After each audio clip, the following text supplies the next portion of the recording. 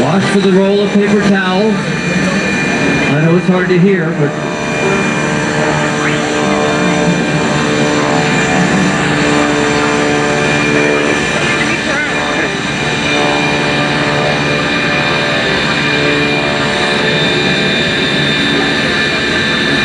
And there it is. Now let's see if he can hit it.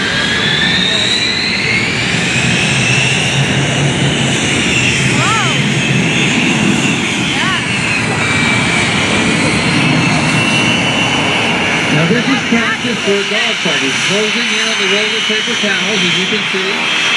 And he hit it right there.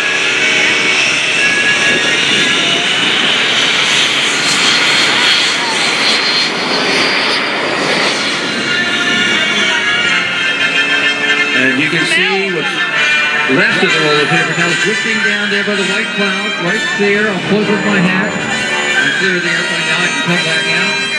He's hitting it right there. And a little bit of little left. There's a victory roll by Frank Isbell. Nice job by Frank.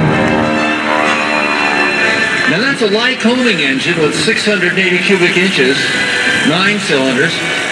It could either be 225 horsepower or with a uh, gear-driven supercharger, as that has, and a variable pitch propeller, it would be 300 horsepower. Here's a Continental seven-cylinder engine in Keith Furman's Navy painted seven. Wave to Keith. He does a great job every Sunday at the Flying Circus.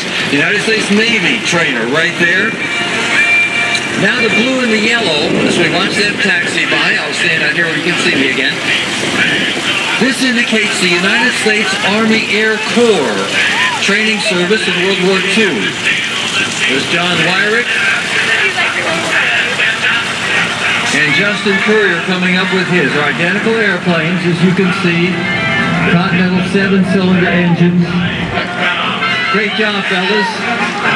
Give them a hand there, folks. Give them a hand. Beautiful job. And they'll be performing at the Flying Circus tomorrow.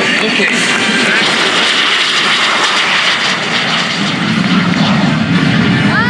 And I'll get back with you next time with the Windwalker.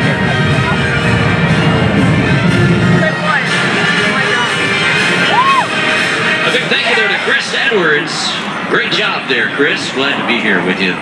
The Flying Circus from Bealeton, Virginia. Well, the gentleman that you just saw take off is none other than Mr. Art Nalls. He's a native of Northern Virginia.